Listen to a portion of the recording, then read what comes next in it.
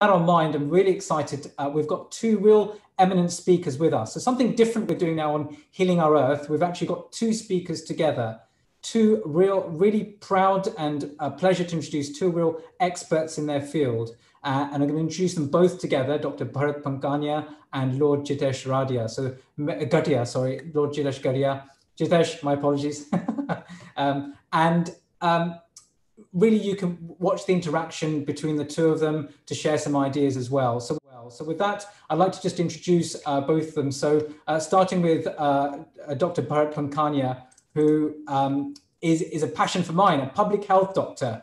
So you think, well, what's a public health doctor? So you think of um, people going down the sea and are, are, troubling, and you've got these great emergency people rescuing these people from the sea, and uh, that's all great but actually you've got some wise people going back and thinking, why are these people actually falling into the sea in the first place? And that's actually what a public health doctor would see. We see these people dying of a heart attack or COVID or whatever, but actually the real clever people will be looking back and seeing what are the themes, and they're looking at the next five or 10 years ahead.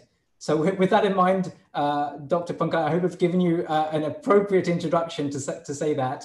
Um, and having worked in public health myself, I'm really interested. So Dr. Pankhania, just to give you a bit of his back, back, background, um, really advises nationally on communicable diseases control um, at a national and international level and is a senior consultant in communicable disease. Um, he has done a lot of work in looking back at uh, outbreaks such as uh, the pandemic flu, influenza, SARS, uh, Ebola, and uh, I think appears actually on national television as uh, and commenting on national guidelines. He does some very interesting work in, in looking back uh, a major plan of testing exercises, web-based surveillance. So do look up, even go to our website, healingourearth.com, and, and do read his background as well, because it's a real pleasure, uh, Dr. Bharat, to have you uh, with us. And along with you, then, we've got Lord Jitesh Gadhia. Many of you know, so uh, Lord Gadhia was actually on our inaugural session. Uh, we did the whole healing earth started, as you know, with a global Gayatri mantra. And on that day, I remember uh, we were there together actually with Lord Gadhia, who shared a really inspirational speech and spoke at that time of what was happening. And that was three months ago. So it's great to have you back on. Uh, Jitesh, have you been on since, or this is your second time on?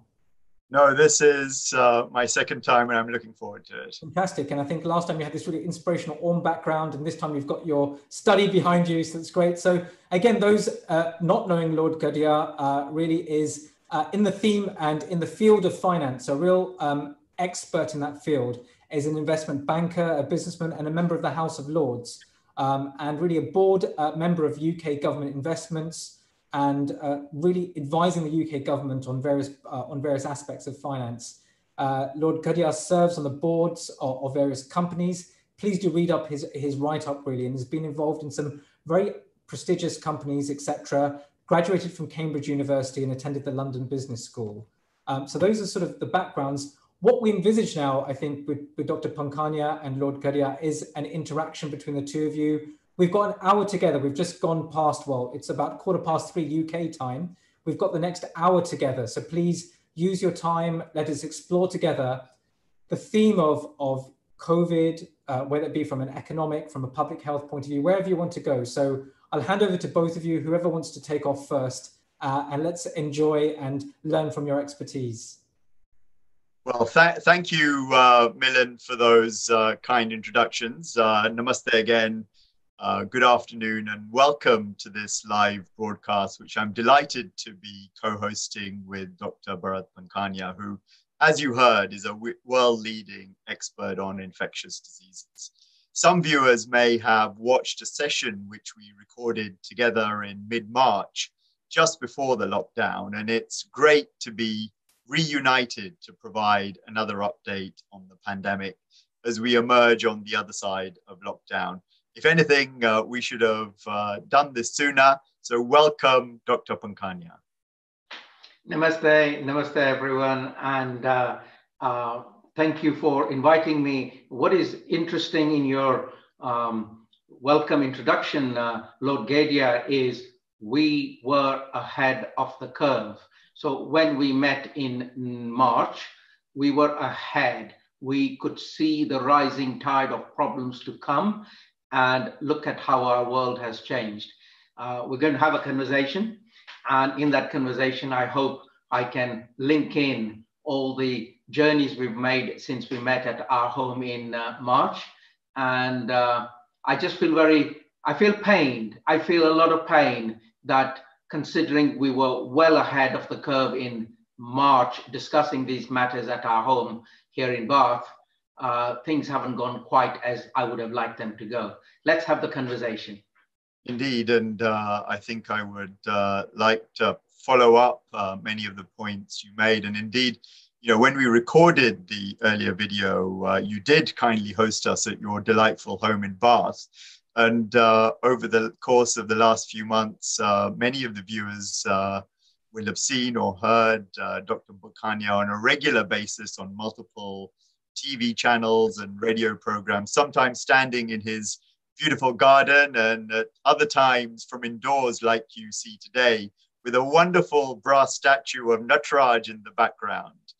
Um, but by, can I, before we do move on to the substance, can I just uh, begin by commending you, not just for the sheer stamina you have shown, but also for the clarity of your public health messages and also uh, for the other selfless activities you do alongside, including distributing Gujarati vegetarian meals to those less fortunate in your local area during the weekends.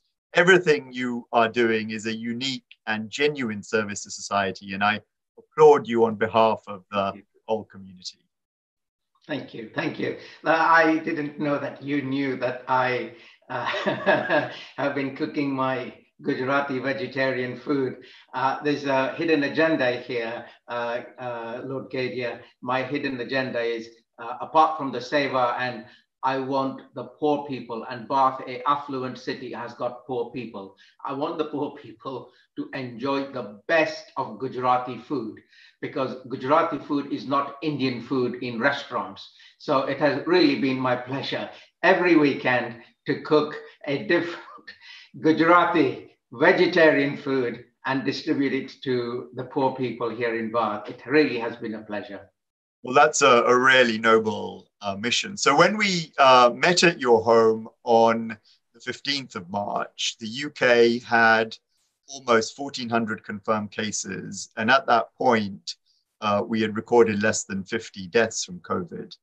In the ensuing uh, 17 weeks, we now stand at over 65,000 excess deaths, according to the Office of National Statistics.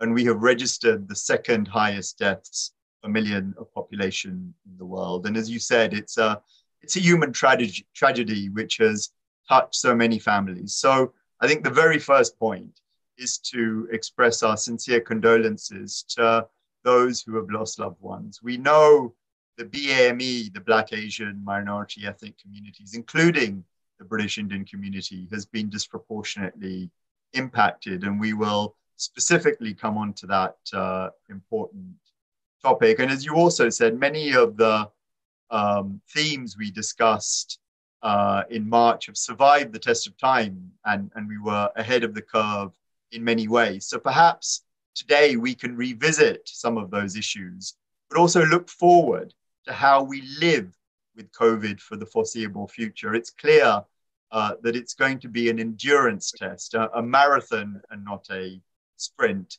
So I've identified um, nine, nine, themes. Um, so let's kick off with the first and discuss what we have learned about transmission and immunity since March, and maybe begin with the role of droplets and aerosol transmission and what that means about being in confined and crowded spaces, and indeed the importance of ventilation. Yeah, thank you. Uh, very important subject. Uh, so we've had the line that this is droplet spread.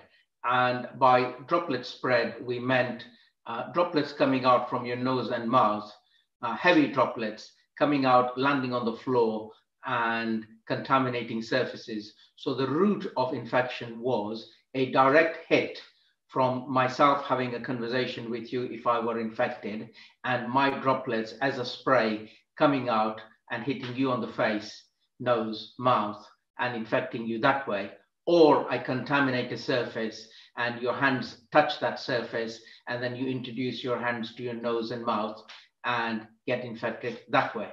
So that has been the, uh, the common, the majority belief. Having said that, um, in my introduction, uh, I was introduced by uh, Dr. Shah as uh, somebody who does blue sky thinking. So I think the unthinkable. I think about what else? What else could be the matter? And uh, I, I, I've always been one of those awkward guys, shall we say, awkward in a nice way. I'm always thinking of what if, what if, what if, what if it goes wrong? So uh, I proposed and I said it about March when we were talking about the Diamond Princess um, um, docked in Yokohama Harbor in Japan. I said so on BBC News Channel that I think there is a additional mode of transmission going on here in this confined space. And I said, we have a issue about crowded places and a confined space and air conditioning and sewage systems. And we need to look into it. And very interestingly, uh, about five days ago, the WHO said, we think that there is a additional mode of transmission as well, an aerosol mode.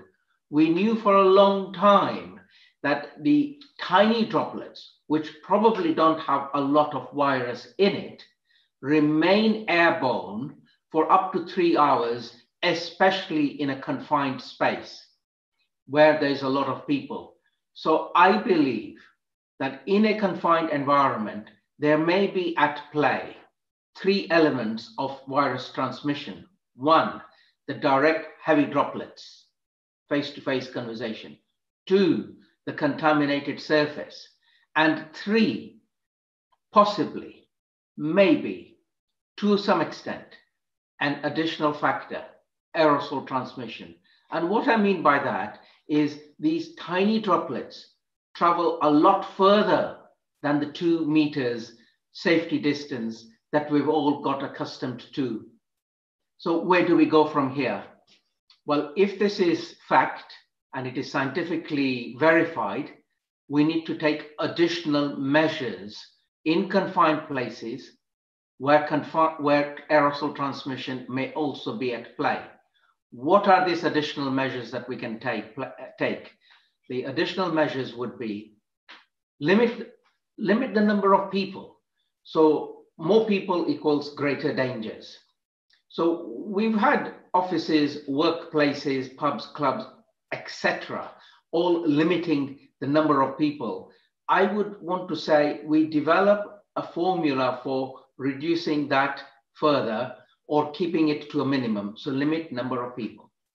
Second point, you continue with all your normal hand hygiene and infection control, which is uh, two meter separation, etc. Then finally, one more, very important. You either open your windows and you have thorough ventilation from both sides. So here in my house, here in my, by the way, this is my mandir room and my study is over there. So here in my mandir room, what I would do if I was sitting here is open the windows here, open that door here and have a thorough flow of air.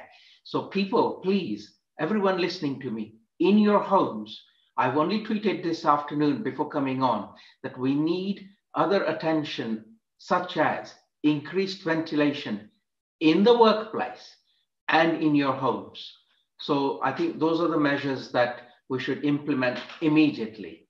Uh, social distancing, hand washing every two hours, and ventilation.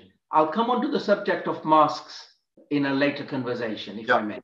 Absolutely. And uh, maybe I can sort of link into that by um, uh, just mentioning a, an emerging area of uh, research which is related to what you've uh, just described, which is sort of so called super spreading, where one person infects a disproportionate number of other people, and the related issues of sort of super spreading events or, or venues ranging from you know, meat packing plants to choirs, dormitories, nightclubs, food markets, uh, cruise ships, I think you mentioned, and even uh, sort of Zumba classes in places like Japan or, or South Korea.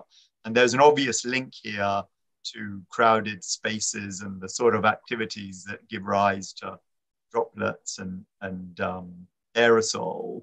So maybe I can use that as a, as a further link uh, into addressing uh, the use of face masks or face coverings. Um, and where there has been now uh, more evidence, and, and I think even you've said that you have changed your stance on this.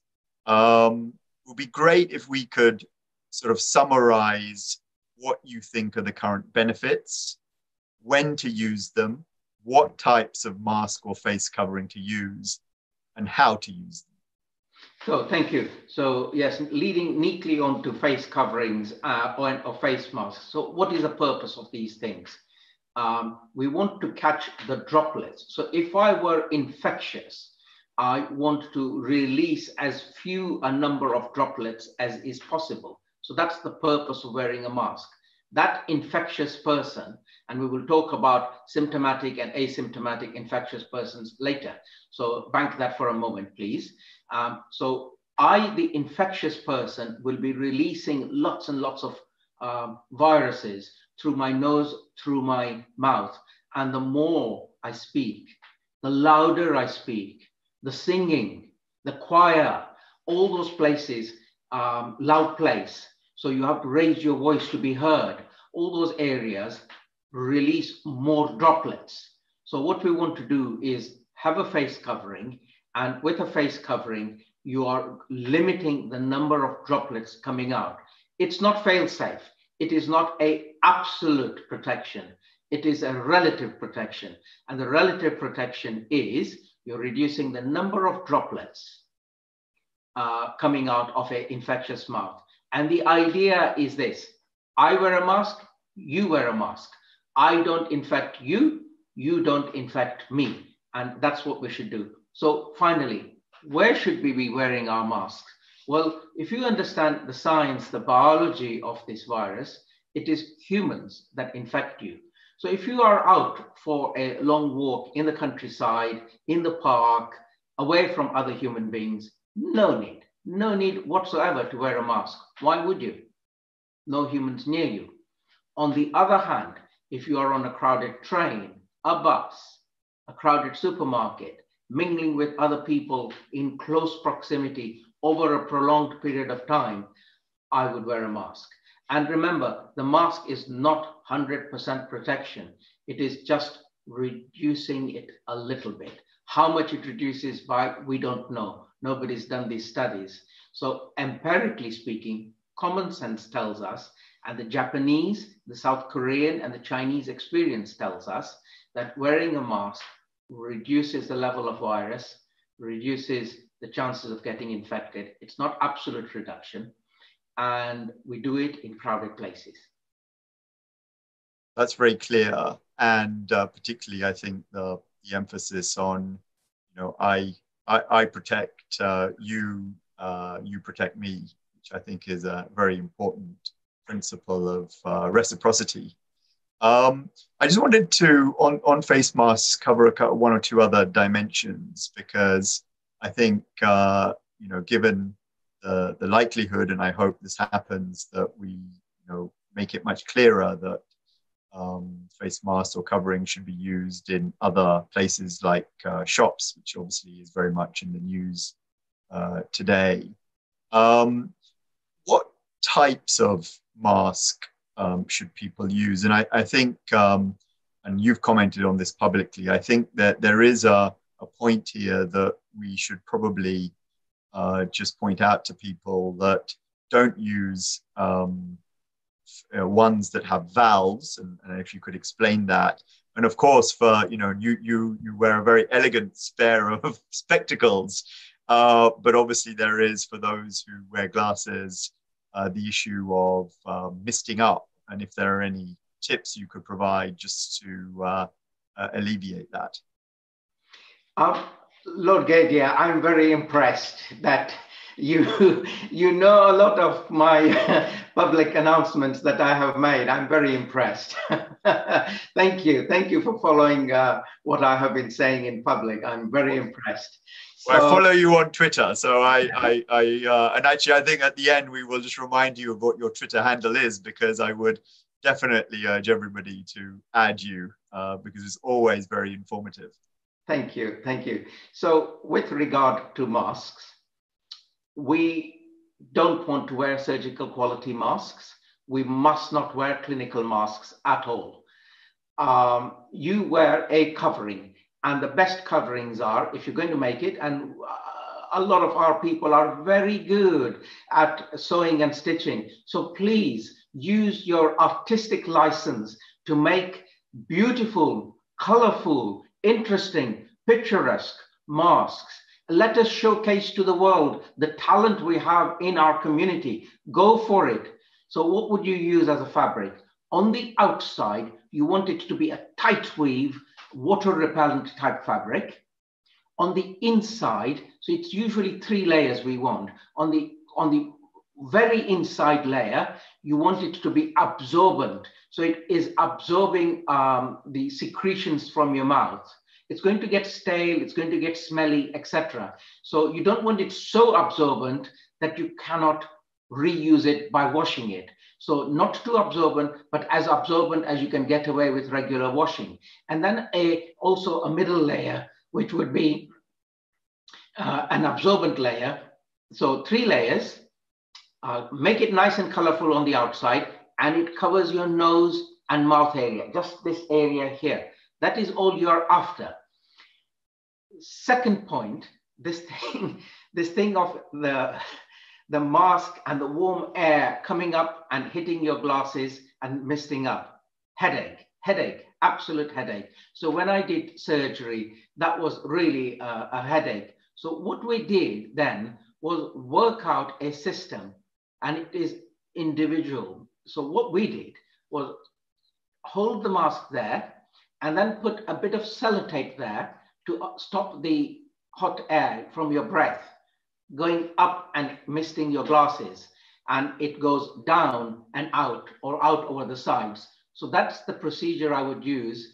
I know it is not a perfect solution, but you're not wearing a mask all the time. You're only wearing it in crowded places. So a bit of sellotape may help. I think those are great uh, tips. And I think as we increase the prevalence of uh, um, wearing a face mask, I think those be really valuable. Now, you mentioned asymptomatic uh, transition. There's transmission. There's more research uh, coming out on that. It seems that you know anything between 40 to 80 percent of infections occur from individuals without symptoms. Can you just um, summarize for us what, what we now know about this and what, what the implications are? Yes, thank you. So um, our viewers, our listeners may be aware that in 2002, 2003, a new virus emerged and we called it the SARS virus, severe acute respiratory syndrome. It is part of the coronavirus family and the SARS-CoV-2 that we are dealing with today is related to the SARS that arrived in 2002, 2003. The reason why I'm dwelling on this is as follows. When you got the infection with the SARS virus, 2002, 2003 version,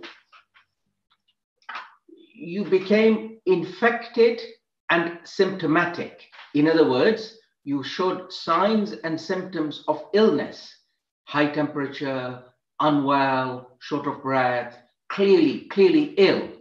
And at that point, when you became ill, you were also infectious. So illness and infectiousness came at the same time. So as soon as we knew somebody had a temperature and they were ill, we were able to pull them out of circulation and pull all their contacts out of circulation. So that was luck on our side. We were able to identify the cases, pull them out, identify their contacts by contact tracing, pull them out. And that public health action plus a bit of good luck helped us eliminate SARS from planet Earth. Now, coming on to the coronavirus COVID-2 that we're dealing with today, unfortunately, it is smarter. The, the GTI version or the souped up uh, version of this virus is a lot smarter. And the smartness is people are without symptom infectious. So you could be perfectly normal, like me, like you, like others, perfectly normal.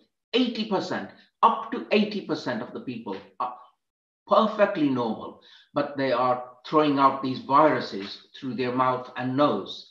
So they are infectious without symptoms. This is very serious because therefore you the, the, the mental picture in people's mind is I am okay. I can't possibly be infectious. Therefore, what's the big deal about infection control measures? What's the big deal about being close to you? What's the big deal about shaking hands? And so on. So you can be without symptoms, infectious, makes control very difficult. So we need to treat, and I made a headlines on this line again, um, March the 7th, we were ahead of the curve. March the 7th, in the Sun newspaper of all the papers, I said, treat everything and everyone as infectious. If you treat everyone and everything as infectious, irrespective of any signs and symptoms, you will be in a better place. Uh, so my advice of 7th of March still stands. Everyone and everything, every place, treat as infectious. These are people without symptoms, but are infectious. I hope that answered your question, Lord. Yeah, very, very much. And look, I think that important principle also has knock-on impacts on on other areas, and we'll come on to the whole issue of uh, testing and, and tracing la- later on. But obviously, it's this is a fundamental issue um, affecting that. If we could maybe round off the, this first point, first area of, of uh, discussion around just uh, immunity, who has it and how long does it last. We've um, had more seroprevalence surveys released, which estimate the number of uh, people within a country who have been infected with COVID by testing for antibodies. And the interesting thing is that apart from big cities like London or New York, where you know anything up to 20% may have been infect- infected, it seems like most countries, and I saw a survey uh, released um, from Spain uh, recently, that most countries taken as a whole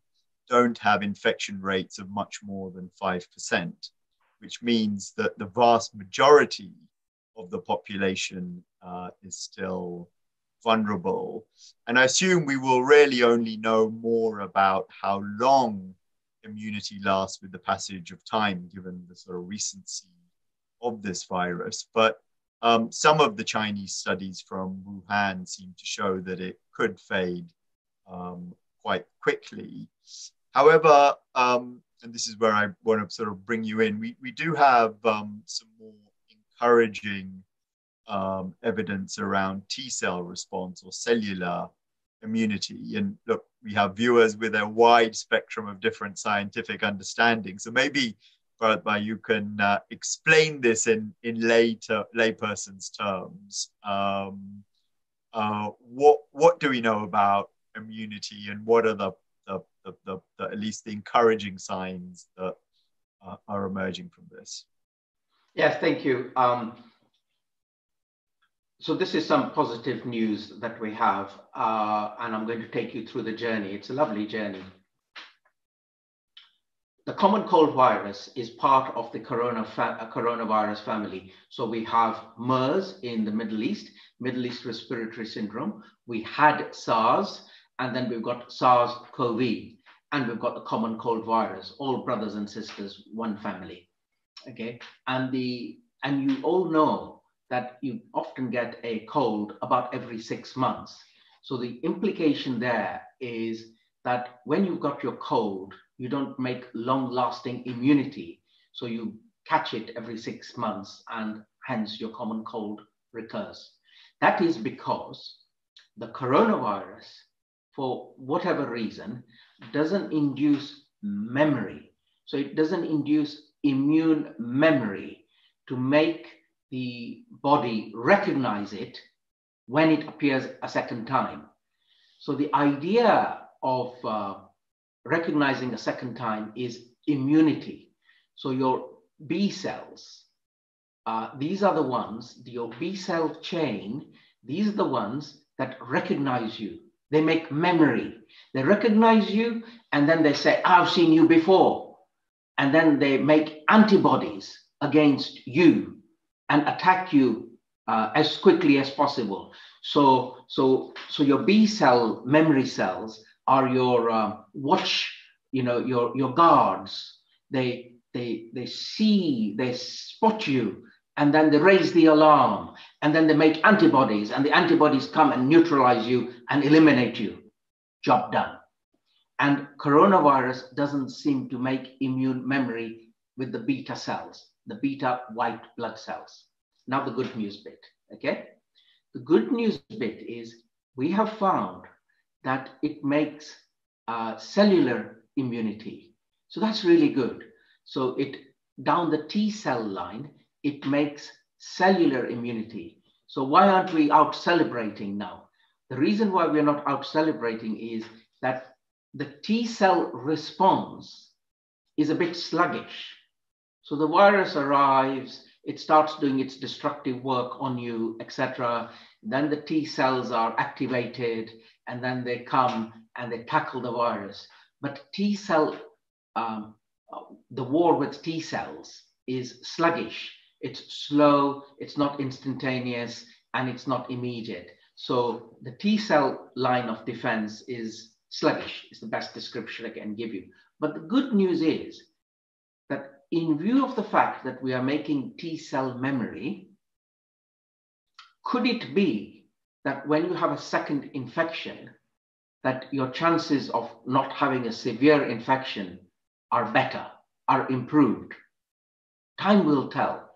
So there's good news, and we hope that it prevents you from getting a severe infection a second time. Time will tell.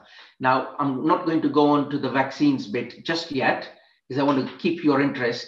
Uh, we will talk about the vaccines and immunity and B cells and T cells soon. Absolutely, we will most certainly come on to uh, uh, you know, vaccines and the therapeutic area as well. It's one of the, the nine themes. So, second, um, and before we sort of look more forward, I just wanted to turn, and I think we couldn't not not turn to care homes.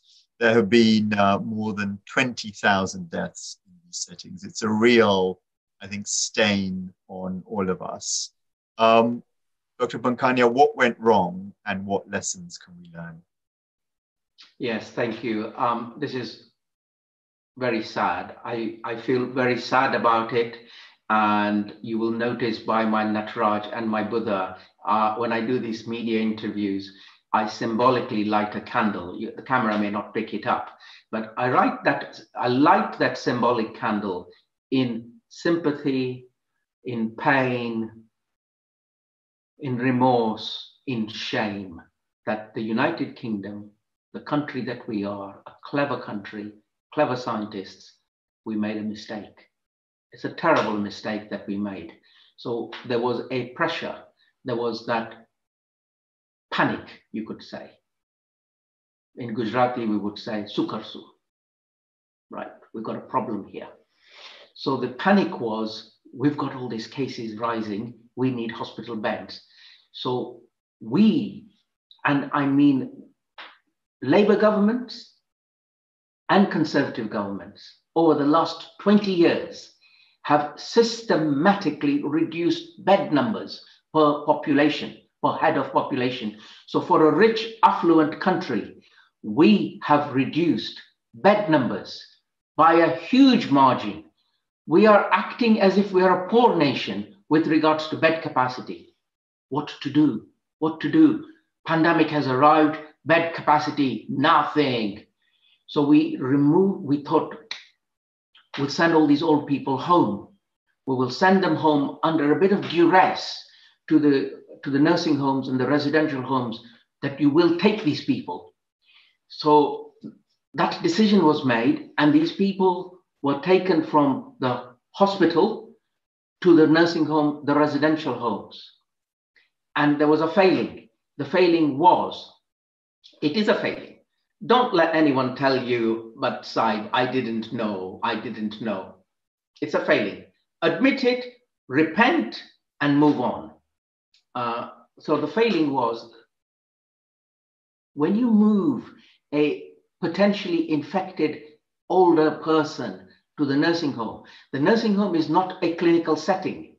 The nursing home is uh, managed by people, many on um, minimum wage. They work in many homes to make ends meet and that sort of scenario. Nursing homes are not, despite the pay that you pay them to keep your elderly parents there, they're not run as well as they can be. Uh, and many of them are not even financially viable. So it's not like they're raking in the money. It's just the way it is. So people got into the nursing homes, they passed the infection from person to person, and a lot of people, a staggering number, over 20,000 in the UK, died in nursing homes as a result of a basic error. The basic error was we introduced a infectious agent into a vulnerable environment. And then in that vulnerable environment, the infection spread like wildfire. And that's the result. Um, we should look into this. We should never make this mistake again. It's very sad. Look, I think we're totally agreed on this point. Um, I think, you know, if there is going to be any silver lining out of this human tragedy, I think deep reform of our social care sector should definitely be very much high up uh, on the list.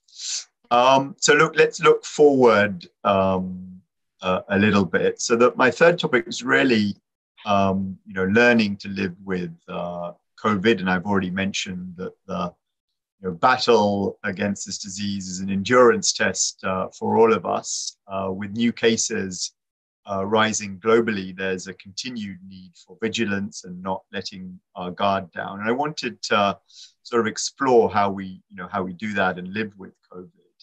So, Bharat, I know you have been uh, concerned around the risks of uh, reopening prematurely given the current level and rate of infections. And to remind our viewers, uh, it's currently uh, estimated to average 14,000 uh, people within the community in England alone, according to the latest uh, Office for National Statistics numbers. Uh, and whilst that number has been falling and is on average one in uh, 3,900 individuals, it's still significant if you compare, for example, to Scotland, which yesterday reported seven new cases and zero deaths. Um, whilst you can't uh, eradicate COVID completely, can try to eliminate it. So, what, what, what are the lessons, particularly from Scotland, Dr. Yeah, that's a, a lovely question. And uh, this is a very important question. Um, I hope uh, our listeners are going to pay attention to this because this is, as my introduction said, forward thinking, going forward, planning, and what do we do about this matter. So let me start um, I said at the beginning when this started to happen to the media, and remember, I've got two minutes in which to get my message across. So for me to slip it in is a monumental achievement. And it's not always that I manage to slip it in. So this is what I wish to slip in. And I have slipped in when um, good people, uh, BBC Radio 4 is very good, very good. They're sharp presenters I salute them. I really do. They are the best. So BBC Radio 4, thank you. She gave me a little opening and I went for it.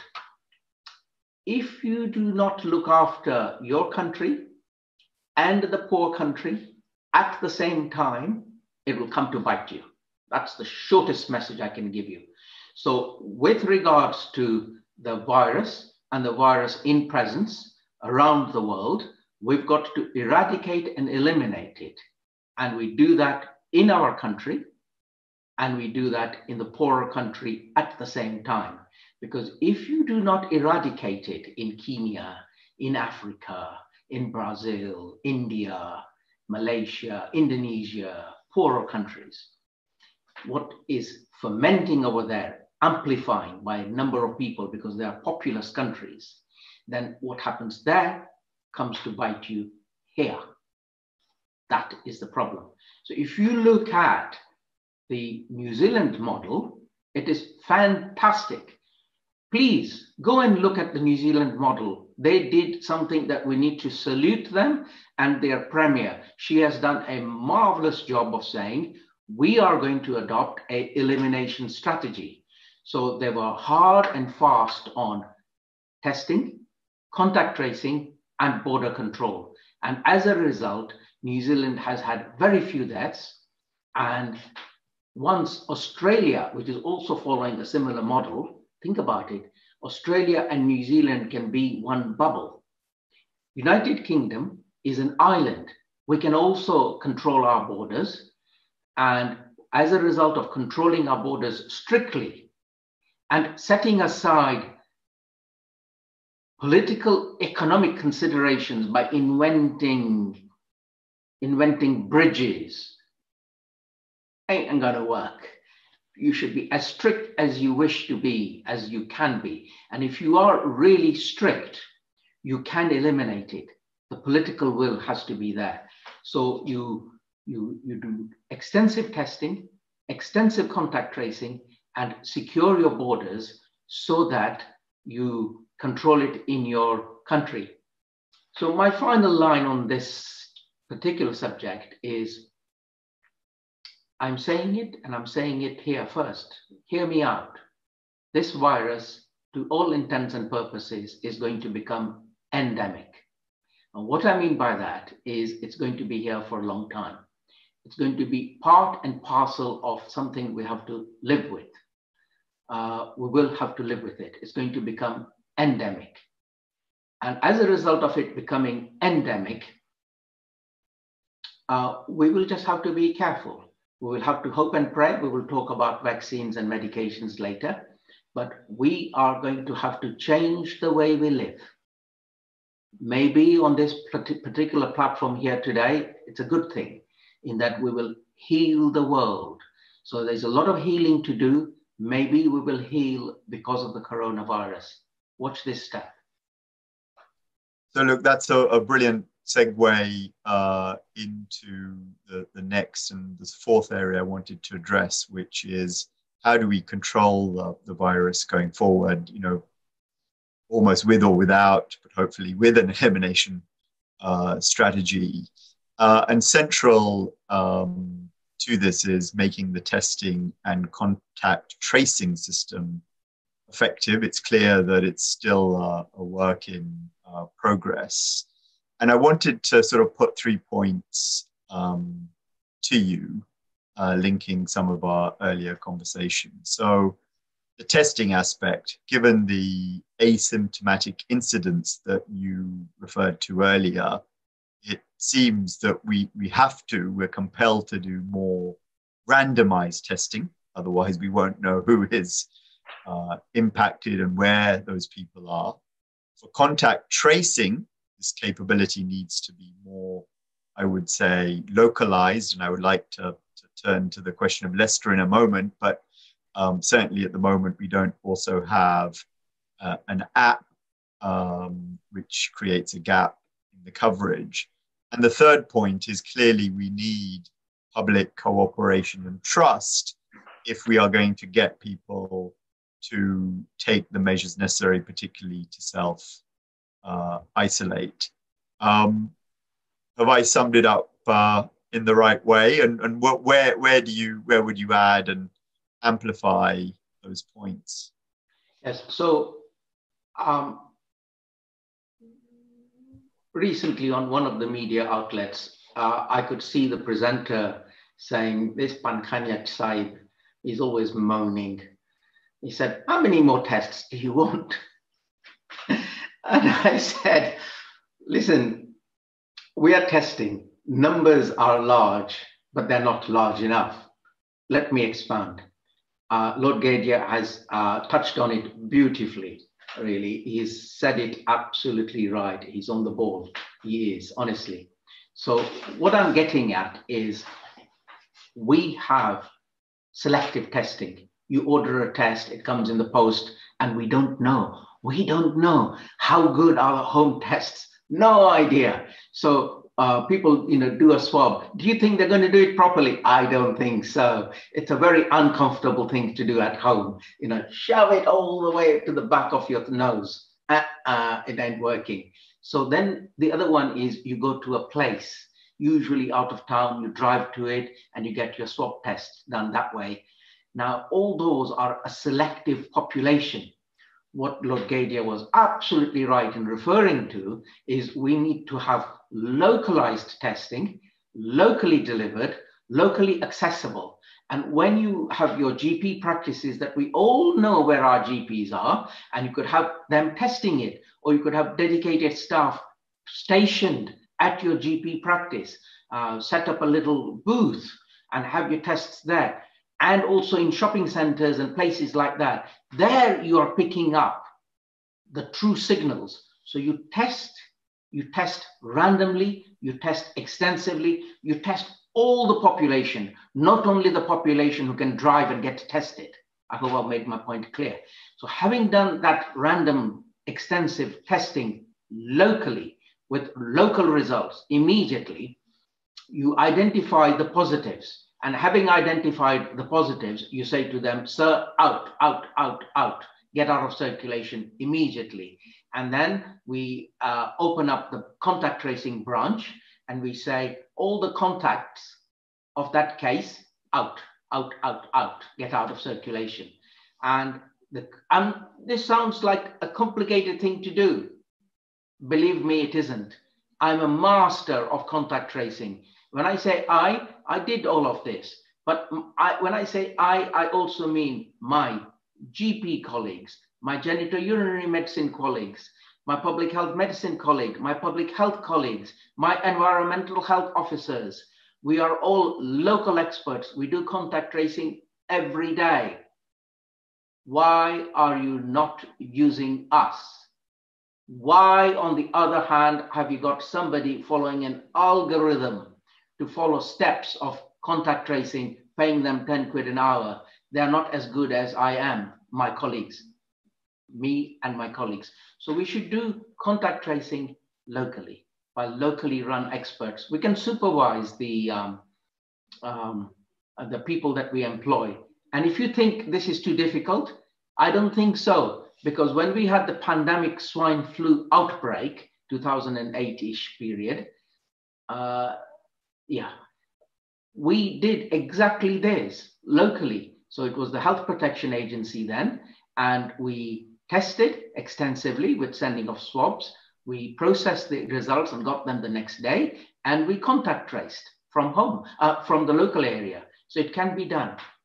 Uh, we'll talk about Leicester in a minute. I've got some interesting things to share with you about Leicester. Well, actually, why don't we we go to that? And um, as we know, uh, it uh, is a city which has recorded the highest levels of uh, infection in the UK, and certainly as we all know, uh, because we all have links into it one way or the other, there's a big South Asian community around half the, the population. And in the northeast quadrant of Leicester, which has the highest concentrations of South Asians probably in the whole of UK, we know that's the epicenter uh, of the outbreak. Um, what are your reflect, re- reflections on the sort of this whole issue of local data, the infrastructure, and the empowerment. Because look, you know, as we saw in today's uh, uh, Sunday Observer, there's another 20 locations which are on the list for potential lockdown. So we really have to learn the lessons of Leicester so that um, we can address those in, in other places as required. So uh, this is a fundamental of outbreak control and management. I would teach my children, my students, and it is lecture number one, really. So the fundamental is if you know, you act fast. If you don't know, you don't know, then you act late. If you act late, you have an outbreak, you end up with a lockdown of the whole city. So with Leicester going into lockdown equals failure. You failed, zero out of 10. Let me expand on this a little bit more. So if you are testing locally, you will know the rising tide of cases coming your way. And you will also know that it is sector A, sector B, sector C. It's factory A, factory B, school A, whatever. But if you are testing locally with local demography, in other words, you do simple, easy things like capture the person's postcode, for goodness sake. So the central testing has not been capturing the postcode of the tests. And it is a selective number of tests, as we've alluded to before. So you need to have testing and you need to have the results locally. Of course, you share them with the government nationally, but the results should be available to the local outbreak managers, the incident commanders locally, as well as centrally at the same time. But you need to have the data locally in a timely manner. So for you, the mayor of Leicester, to say, I didn't know I had a problem until tier two, pillar two data results were given to me centrally is a failing. We should not be in a position where you get a phone call from headquarters in London telling you you've got too many cases. You should know about your cases you should know the nature of the cases and stamp it out. So the analogy is you have a forest, it's dry, it is prone to fires, and you need your surveillance systems, your spotter, to identify where the hotspots are occurring. So be it in North Evington, uh, Melbourne Road, uh, Spinney Hill Park, all those areas of Leicester where you're getting hotspots you go to the hotspot, so you will already know the values, the behaviors, the nature of what may be going on in that hotspot, and you stop it. And if you stop it, you won't have to shut down the whole city. So early action, early timely action, early intelligence locally allows early local actions. And then you don't have to have a lockdown. That's very powerful, um. Uh, I wanted to next move on, which is in some ways related, but uh, in some ways much broader, which is the impact of COVID uh, on the Black, Asian, and minority ethnic communities in the UK. Um, we first really got the real data on this from the number of people going into uh, ICU, although actually for those who had sort of had their antennae uh, up and open, uh, it was visible uh, even earlier on. And, and, you know, I remember uh, noting this um, when uh, you know the, one of the first major nationwide alerts was at Northwick Park Hospital in um, Harrow, which is located in the heart of a large Asian community in northwest London. And um, if you look at the COVID deaths by ethnicity, and you know you will have poured over them, it's really quite a stark picture. So for South Asians, something between two and a half to three and a half times more likely to die from uh, COVID, with the highest risk category being uh, Bangladeshi and, and Pakistani uh, men. And you know you can, you know, there are some known factors, and, and I'm sure you'll go into that, but you know, we, we know that there are at least three factors. One is the comorbidities, so things like diabetes and heart disease. Um, there's the social and cultural factors, particularly the high number of multi generational households. And then there are, if you like, the socio demographic, the types of occupations held by Asians make themselves more vulnerable. Uh, you know, 30% of medical staff are, are um, are Asian and 44% of NHS staff are BAME. So uh, that gives you, you know, a clear um, explanatory factor. But even if you seem to uh, remove all of these explanatory factors, there's still an unexplained difference. Um, and so it would be really interesting to get your take on this, whether there is any genetic factor, and indeed then linking that to you know back to some of our homes in you know South Asia or for people in Africa or the Caribbean, um, there doesn't seem to be as much incidence at the moment, and I would stress at the moment there. So, how do you sort of put this conundrum and pattern together? Yes, thank you. It's such a delicate and uh, important topic.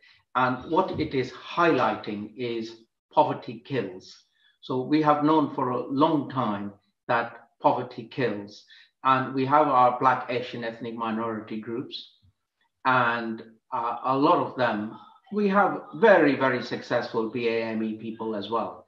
But we also have a lot of them in poverty. And when you have crowded homes, when you have poor accommodation, when you have uh, multi uh, generational dwellings together, there's nothing wrong with it. Absolutely nothing wrong. Live with your mom and dad and your grandparents. I would advocate it. It is a good thing to do. Don't give it up. It's just a reflection of poverty. Okay, so we poor people also have poor jobs. So the poor person living in a poor household multi-generational household uh, will also be the bus driver. They will also be front line in a healthcare setting, uh, the cleaner, the washer, the taxi driver, uh, the restaurant person, the restaurant waiter. And they have a greater chance of getting hit by an infectious person or the, you know, it's a bit like Russian roulette. If you carry on playing Russian roulette, eventually there will be a live bullet in the in the spin of the, the revolver. So it's similar to that. Repeated exposures, and one of those exposure eventually finds you. There's one or two items here which I'm pretty sure about, so I'd like to stamp on that. I think there isn't a genetic component to this. I feel we shouldn't go into this genetic area because there are nefarious people out there who wish to make us separate from other fellow human beings when we are not. We are all fellow human beings, all of us, all races, all cultures. And I don't think there is a genetic component. But what I am interested in, and I haven't got an answer, we haven't got an answer, is could there be um, deficiencies of certain uh, things like vitamin D? My answer is I don't know we don't know. Um, could there be other deficiencies? We don't know. I don't know.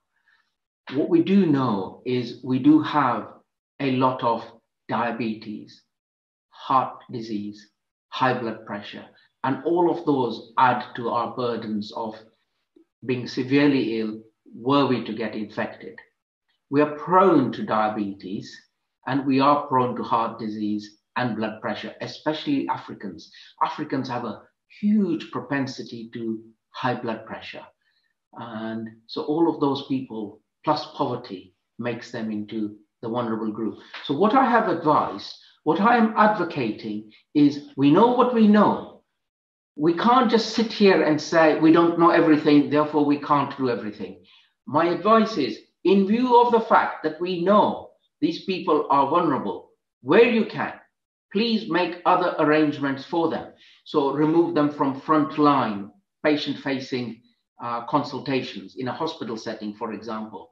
If you are a bus driver, give him, her extra protection with maybe better masks, better PPE, and maybe a less crowded bus. So do something for these people who are driving your buses and uh, running your hospitals and are frontline and are at risk.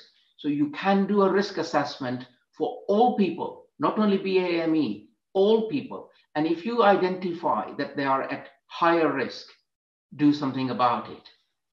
I hope that answers your question. It, it does, and I think you make a very important point that um, there's a limit on how continually we can uh, dig into the explanatory factors. And I think we have probably identified at least the contours of most of them already.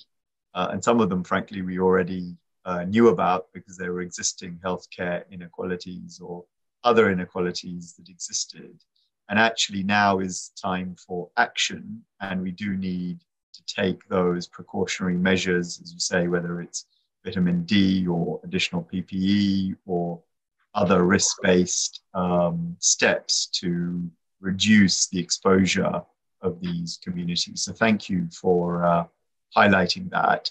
I wanted to move on to um, uh, remaining on the sort of theme of, of community, some communi- community specific issues, um, and in particular, things like family gatherings, weddings, where they have been uh, permitted to be resumed, but with no more than 30 people allowed. And then also cultural and religious festivals, obviously.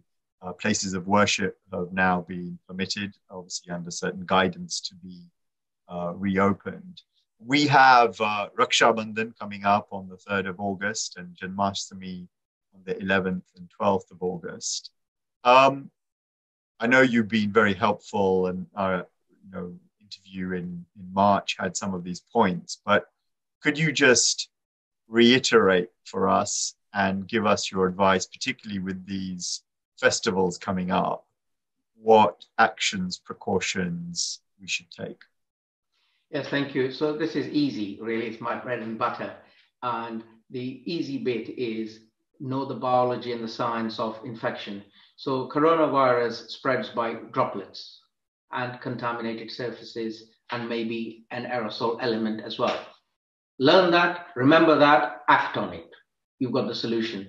So think for yourselves and you now know droplets, dirty surfaces, introducing it to your nose and mouth, and in a crowded place, aerosol spread as well. So what you would do is you say to yourself, I look after you, you look after me, we look after everyone. So you're going to have your gatherings, good, have them. Be careful. If you can have them outdoors in the summer months, better. If you can have them in a more open space, better. If you can have them in a hall and you tell the people, Sukariya, it's going to be a little bit cold we've got to have the windows open. Checks and balances. So we've got to have the windows open. We're going to have good, thorough ventilation. We're going to even have machinery to have a good flow of air and let us remain safe due, during this auspicious gathering. Of course, wear your masks as well and wash your hands. Now, with regards to wash your hands, you timetable it. So you say uh, every two hours, you're going to wash your hands. And that is a good thing to do. Wash and dry. It's not only wash your hands. And when you just cannot wash your hands, you can use the alcohol gel on otherwise clean hands. So basically, the answers are you already know them. Uh, you stay away from humans as much as you can and you remain clean. If you cannot remain away from uh, humans uh, at gatherings, for example, uh, Janmashtami coming up, you all want to go to uh, the Krishna Mandir, then you have to understand that numbers into the dwelling will be limited. One of my colleagues' fathers died at the Krishna Mandir, having caught coronavirus disease, infection, and then disease, and he died. So this isn't a joke. This is serious. Few numbers, good ventilation, good hygiene, and we hope for the best. Indeed, and, and frankly, I think I would say that um, a lot of uh, the community organizations, the temples, the gurudwaras, darasas, etc., using um, Zoom and, and sort of webinars, and, and I would frankly continue to encourage them to as much as possible use those mediums as well because I think large gatherings, as we've heard, is uh, not actually uh, a good idea. They can be super spreading events. So we haven't got that much time left. I'm sure that uh, with the help of the organizers, we will have a little bit more than, you know, maybe we'll, we'll be able to extend. Uh, until, Don't worry, Jitesh, Lord Gadhia, yes. it, it, we're really enjoying it. Please do carry on at the moment. Okay, well, we'll we'll try and wrap it up by 4:30 because yeah, I wouldn't sure, want yeah. to stand up my uh, my my noble friend Lord Ranger. So um, what we'll do is we will speed it up, but there are four other topics I, I wanted to uh, quickly please cover. Do, please do carry on. Maybe you could just at least just bullet point the, the, the, the themes coming up, but the things coming through on social media, on WhatsApp, everyone is really enjoying this session and is crediting both of you uh, for the clarity of questioning and the clarity of answering. So please do continue. We'll, we'll, we'll, we'll try and, and, and stick to that. So the next question was really around uh, air travel. We did cover this partly with the speaker before and, and the whole question of holidays and, and quarantine, particularly as a lot of people you know, will be contemplating what they do in July and August. Some will have cancelled their plans. Uh, others may not have been able to receive a refund. Um, and some might just be tempted to have a change of scene, but are hesitating about, um, you know, flying away. Um, what's your honest view on this, uh, Dr. Pankhania? Simple, uh, very simple. So Uh, you know a lot about what I do. Maybe you don't know a lot about my uh, my inner soul that drives me. And my inner soul that drives me is peace and tranquility on planet Earth. And we have uh, trashed planet Earth. So please, if you can, reduce your carbon footprint. Do your seva to planet Earth. Don't fly. Give it a break. And it will protect planet Earth. It will protect you. And give it a go. You know, the United Kingdom is a beautiful country.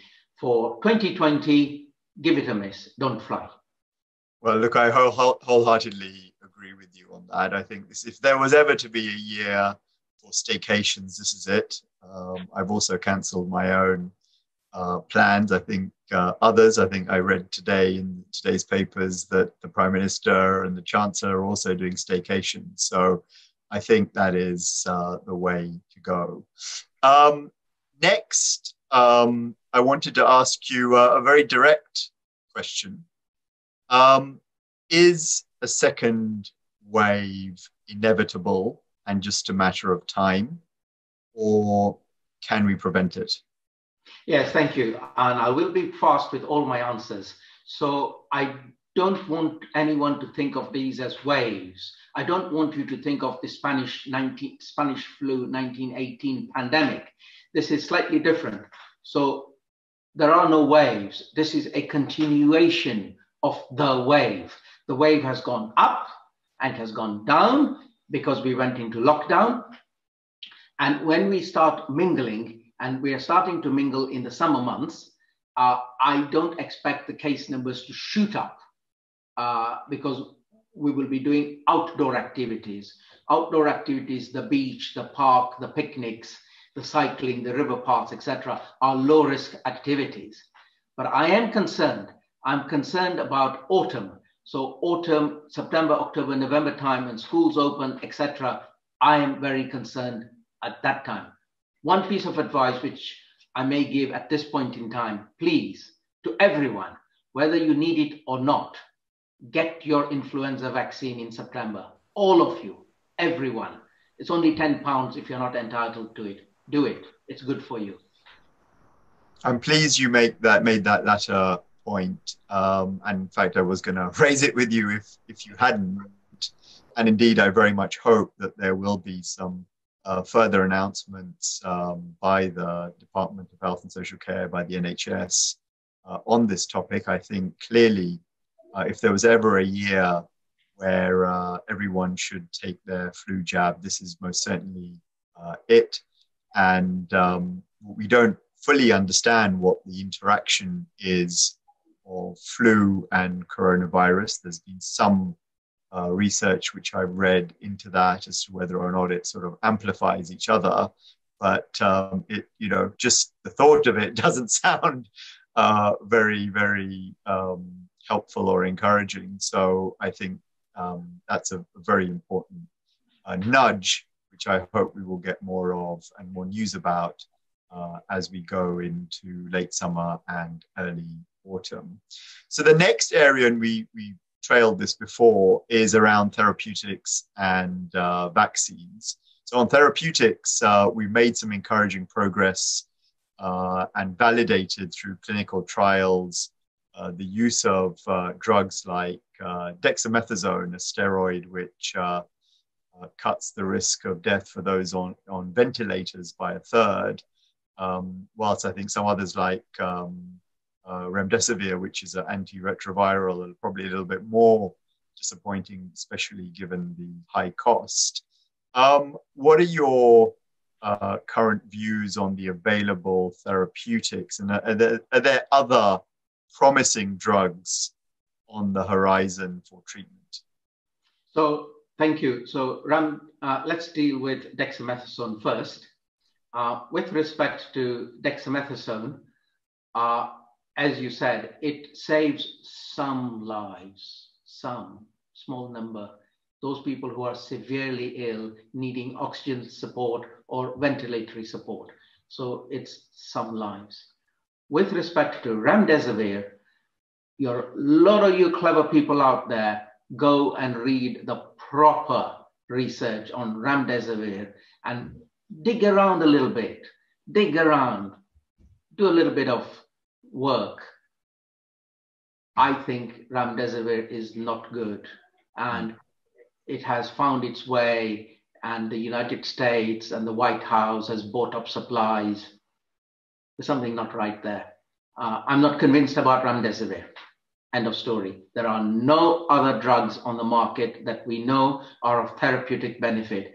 Please do not go around using your azathioprine, uh, azithromycin, sorry, not azathioprine, azithromycin, that's the antifungal drug, or your hydroxychloroquine, your anti-malarial drug. No evidence. So we have, unfortunately, at the moment, no drugs. Dexamethasone is of some benefit, I'm not convinced about remdesivir and how it found its way into being used by the United States care of the White House. That's very clear. So, um, if we could maybe turn to the prospects and timing for a vaccine, I think there are something like 200 different vaccine initiatives uh, underway around the world, uh, with a dozen or so uh, in human uh, clinical trials. And um, what um, would be maybe quite interesting is to get your perspective on it, and particularly um, from what I understand, um, there's quite a possibility that if, you know if and when do uh, produce have a vaccine, uh, and it takes time to do these. You know, the earliest I've seen it heard from credible sources is for the second half of, of next year. Even then, it will be sterilizing immunity. It won't be sterilizing immunity, i.e., that it, it, it stops you for, from all time from having COVID. Um, but maybe it might for a short lived uh, period, a bit like um, the influenza vaccines that we have been talking about, where you need uh, maybe an annual jab or a booster. Um, what are your thoughts on vaccines? Yes, okay. So the reason why we have the annual flu vaccine, uh, the seasonal influenza vaccine, is because the seasonal influenza virus expresses different proteins every year.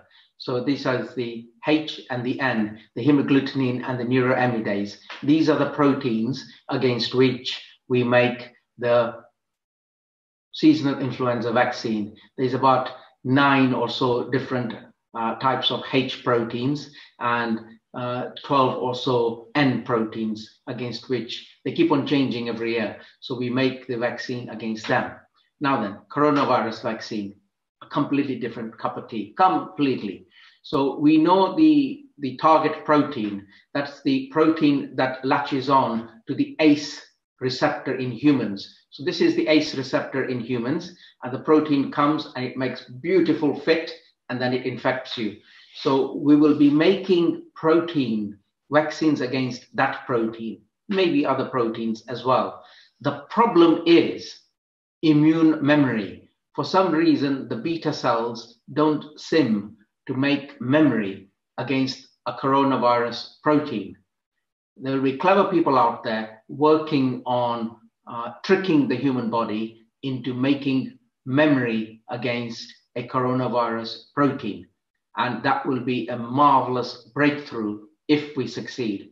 My advice is don't put all your eggs in the vaccine basket because we may never make one. So remember, with HIV virus, we never made a vaccine. Um, so let us see. Um, only time will tell. I think that's a salutary message. I think uh, we should uh, definitely plan to live with COVID. And if we get a vaccine, clearly that will be upside, if you like, uh, and, uh, and a bonus, but we shouldn't certainly plan on that basis. So finally, I wanted to end on the importance of public trust in, in health messaging. Uh, and, you know, if nothing else, the, the last several months have demonstrated how crucial it is to take timely decisions and action when it comes to public health, but also to communicate things in a clear uh, fashion. And sometimes I think we have suffered from mixed messaging and whether that's on sort of two meters versus one meter, face coverings are mandatory or not, work from home or go to work, uh, use of public transport, which is a new uh, emerging theme um, that is coming up, and sometimes the complexity of messaging. So I certainly um, get a lot of, of questions, even from my own family, about you know what, what is all of this stuff about bubbles and who can meet indoors and outdoors. Um, it's a complex web. What is your um, feeling about having guidance versus rules versus making these legal? Can we can we um, legalize common sense? yeah. So I learned something very important from my dear friend. He's still a professor at Imperial University, and uh, my friend Azeem said to me when I asked him, "How do you write all these papers?" He said, "Keep it simple. Say it as it is." So, Professor Azeem Majeed, I salute you. You, you taught me something really important. And, and the important bit is keep it simple. So, our messages should be succinct, simple, and understandable. And it has to be consistent. We cannot have our chief medical officer saying between the lines, be careful, the virus has not gone away. And then we have our ministers and prime minister saying, go out and have a drink in the pub. I think uh, the message from the prime minister should be something like this I know you're going to go to the pub, but first and foremost, be careful. Be very careful. Be very, very careful if you're going to go out and have a drink in the pub. It's that order of say it, but mean it, and be succinct, be simple, be straightforward, be consistent. But overall, bottom line, uh, communication skills are very important keep the message simple. So here in the West, the Southwest, where I gave weekly broadcasts on BBC radio, BBC Points West television, I developed a strapline which was keep away from human. And that was so successful, you know, easy to understand, easy to, uh, to remember, keep away from humans. We need those messages repeated consistently. Dr. Pankhania, that is um, as ever, in your own style, a, a great way uh, to end. I totally agree with you that, uh, in a way, greater health confidence will boost economic prospects, and they're not a simple uh, trade off. Um, as always, it's been uh, a pleasure interacting with you. Uh, I'm truly grateful for your clear and comprehensive answers to a very wide range of themes and questions. Uh, whilst um, we have discovered a fair amount about COVID, we are still learning more on a daily basis about dealing with this health emergency. So I'm sure we will continue to call on your expertise. Thank you once again for everything you do. And as someone who believes in the power of human resilience and ingenuity, I'm confident that ultimately we will emerge from this crisis stronger and wiser. Uh, so until the next time, namaste and please keep well. Thank you. And uh, if you wish to follow me, then uh, I put as much updates as I do on my Twitter handle, which is at Dr. Shaib, D O C T O R S H A I B. come and join me. Come and do the journey with me. Uh, it will be good. Take care. Namaste. Thank you. Mm, namaste, and thank you so much to both of you um, for such an informative session. The last hour has flown by, where in fact it's been over an hour, and through social media and other ways, there's been lots of positive feedback. One to Lord Gadhia for some very succinct themes, and we went through a whole journey from infection control to how to manage as, as the public. So, Jitesh, thank you. I'm sure. I'm sure you've had some BBC Radio 4 training, I'm sure, in there as well, uh, although you didn't grill anyone, but uh, you did really well. So thank you so much for coming back on. And, uh, you know, real words of, of gratitude to Dr. Pankhania, your clarity, your expertise, uh, and sharing those messages. Um, and the human side of you, your, your, the cooking you're doing, you, you shared about your love for the planet as well, not to travel, you know, all those things. So we've really enjoyed this last hour. Myself as well, even being a medic, uh, having learnt so much and um, being a GP, I actually sat in my room, uh, in my consulting room, uh, having done some video consults. And uh, yeah, we're preparing ourselves also for the flu, uh, for the flu campaign. So those of you, please do come for your flu vaccination. If GPs around the country are planning of how we might do that in a safe way. But we covered so much. There have been some burning questions. I know it's it is actually 4:30. We have Lord uh, Ranger with us. Uh, Lord Ranger, I can see you there. Um, please do bear with us just for a minute or two. One question that's been coming through. So welcome. You can see Lord Ranger there on your screens, who's going to be our next speaker, literally in a minute or two.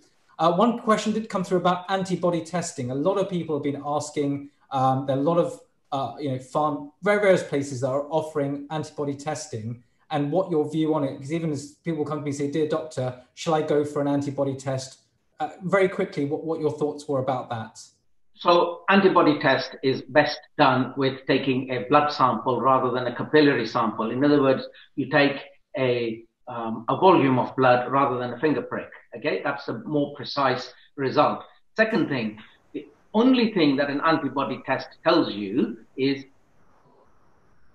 you have survived a coronavirus COVID-2 infection. That is all it tells you. That you've had an infection, whether you knew about it or did not know about it, and no more, no less. Um, it doesn't tell you that six months down the road you're going to be immune or not. That we don't know. Uh, exactly, and I think that's that's the key message to others as well um, about that. And another theme which um, it's actually think comes in quite nicely what Lord Ranger is going to come across, which is the economy. And Lord Gadhia might bring you in as well. This theme of encouraging the economy, people to go out and go back into shops, get everything going, uh, eat out to help out, and all these things are going on as well. Um, so we've got this mixed balance between trying to get our economy going, support local businesses, and at the same time trying to keep ourselves safe. And it's a real juxtaposition we find, you know, the government trying to encourage us as well. And I don't know if you've got any thoughts on we want to, you know, boost the economy, but at the same time we also there is, you know, uh, understandable fear and, um, you know, lack of confidence. There is a balancing act, but as I said, uh, I think in some of my concluding remarks, um, we should be careful about a sort of a, a, a false trade-off, a false binary, if I can put it that way. Um, improving public health uh, actually will help our economic prospects. And uh, Dr. Pankhania uh, referred to the uh, example of New Zealand, right? In New Zealand, you can see that New Zealand is booming because they've got this, uh, uh, you know, uh, pandemic under total control. Now, obviously, there is a risk, and they've had to face the risk of people traveling into the country and bringing it in, but they have now a very strict regime and, and method of being able to address that. And um, so, really, what I would say is that you know there is a uh, we we can manage health and the economy together, and we've got to do it together and in lockstep if we want to get the best results. Excellent. Thank, thank you, uh, Lord Gadhia and Dr. Pankhania again in a moment. I'm going to actually welcome uh, one of the key member of the Healing Our Earth team, which is uh, Nitin Palan, who was actually on earlier, who's come back on. So Nitin Bhai, I can see you're online in a moment. Just to actually, I know you've got a connection with both of these speakers and, and to thank them as well. So I can see you online. Please do just uh, also just share your thoughts. Could not thank you guys enough. So clear, so succinct. What we learned in the last four months, we learned in an hour and a half. So thanks very much indeed. This hour and a quarter should go viral to every human person on this planet Earth. This is more clear than what ministers talk about, wise men talk about. And, and, and I'm not saying this because I love you both dearly. This was really highly professional. Thank you very much. Thank you. So be ready. I think uh, those of you who are watching at home, uh, that this particular, I think all sessions have been really good. So don't, uh, uh you know, single out anyone or, or particularly, good. And um, we will i think we will see a clip of this certainly being shared you know uh, on websites etc so those of you watching at home please do tell people to still go on go on to healing our earth. You can you can watch it from the beginning. Do rewind back an hour and a quarter and and watch this session. So um, so with that uh, a big thank you to dr pankhania and lord gadhia dr pankhania i think i'm going to come around and sample some of your gujarati dishes yes, you must and uh, see what's on offer. Um, I've tried. I, tried to say stay away from humans, but my my, my spouse wasn't having any of it. So. I, I have been. Um, I was treated to a fabulous uh, lunch by uh, Dr. Pankhania and his wonderful wife when I visited his home in uh, March. Uh, so it's well worth doing, Milind. Good, good. Well, I hope you picked up the recipes, or I'll just I'll come round to you instead and uh, try from you we welcome everyone. We are proper Indians, and we welcome everyone. Good. Well, uh, thanks to both of you. So, so we carry on. So, those who are watching at home, I really enjoyed that session. Being, a you know, even from a medical background, background I picked up so much. Um, as doctors, we're, we're talking all the time and sharing things, but it was really nicely done. So, uh, I'm sure those of you at home really enjoyed that session, and there was a really nice chemistry between between the two of them and a real clarity of, uh, of sessions. But we, we carry on. So do look on uh, healingourEarth.com.